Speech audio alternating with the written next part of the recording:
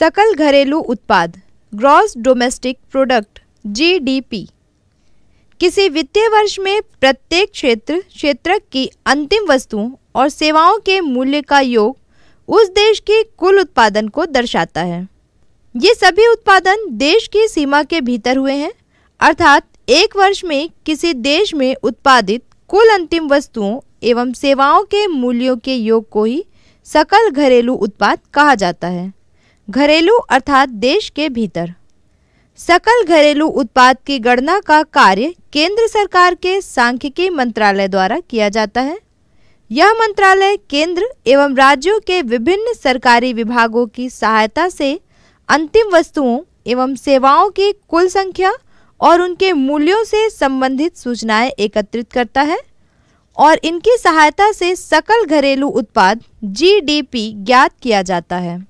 छत्तीसगढ़ राज्य का सकल घरेलू उत्पाद करोड़ रुपए में। छत्तीसगढ़ का सकल घरेलू उत्पाद आधार वर्ष 2004 से 5 स्थिर मूल्यों पर। उपर्युक्त रेखा चित्र से स्पष्ट है कि वर्ष 2004 से 5 एवं वर्ष 2013 से 14 की अवधि में छत्तीसगढ़ राज्य के सकल घरेलू उत्पाद की प्रवृत्ति बढ़ने की है।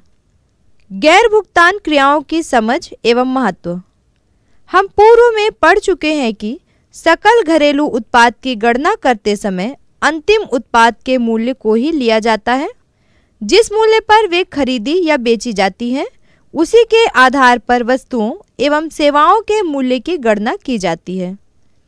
हम अपने जीवन में बहुत से ऐसे कार्य करते हैं, जिसके लिए कोई कीमत प्रदान नहीं की जाती है, पर ये कार्य हमारे जीवन के लिए बहुत महत्वपूर्ण होते हैं। स्पष्ट है कि ऐसे कार्य जो बेचे या खरीदे नहीं जाते और जिनके लिए मुद्रा का भुगतान नहीं किया जाता उन्हें सकल घरेलू उत्पाद की गणना करते समय शामिल नहीं किया जाता क्योंकि ये गैर भुगतान क्रियाएँ हैं। इससे सकल घरेलू उत्पाद वास्तव में कम दिखाई देता है। अगर ये महत्वपूर्ण उत्पाद के कार्य शामिल करके गिने जाएँ, तो सकल घरेलू उत्पाद का मूल्य बढ़ जाएगा। ऐसे कार्यों की गणना भले ही आर्थिक क्षेत्र में न हो, फिर भी इनका एक विशेष महत्व है।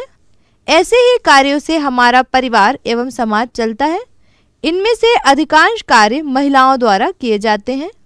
इन कार्यों के लिए उन्हें पारिश्रमिक प्रदान नहीं किया जाता है, जैसे घर में खाना बनाना, बच्चों की देखभाल करना आदि।